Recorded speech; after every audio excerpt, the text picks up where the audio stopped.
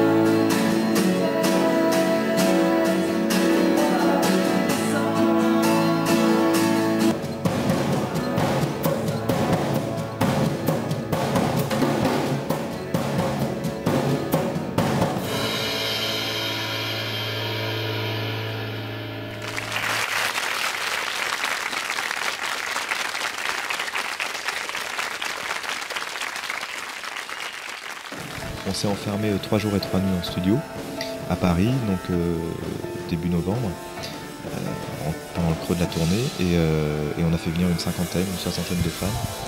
comme ça, on a enregistré vraiment live, mais en studio, donc avec une qualité de son peut-être un peu mieux, et, avec cette émotion aussi. Cette tournée, en fait, elle est, elle est moi je l'appelle un peu messianique, elle, elle, est, il y a une émotion qui passe encore plus forte.